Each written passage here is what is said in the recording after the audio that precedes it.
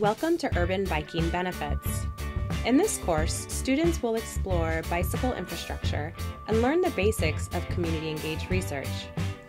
The research tells us that higher levels of bicycle infrastructure are positively and significantly correlated with higher rates of bicycle commuting.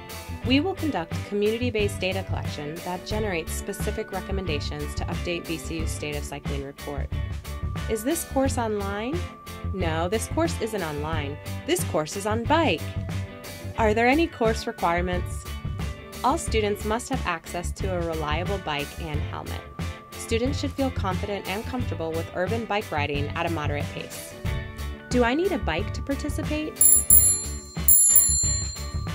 Each week we will have Ride and Learns.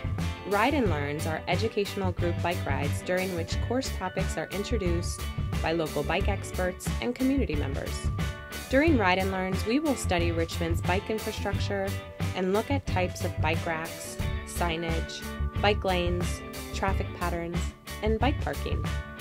So, how do I prepare for the Ride and Learns? Before any ride, it's always smart to check that your tires have sufficient air and that your bike is in safe working condition. Also, carry tools and supplies in the event that you get a flat tire. And don't forget to bring your bike lock.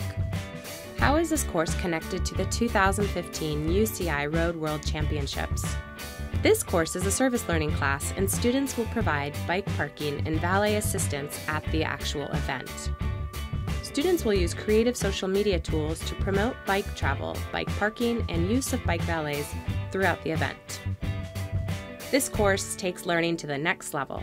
It's literally a classroom on bikes. Let's ride!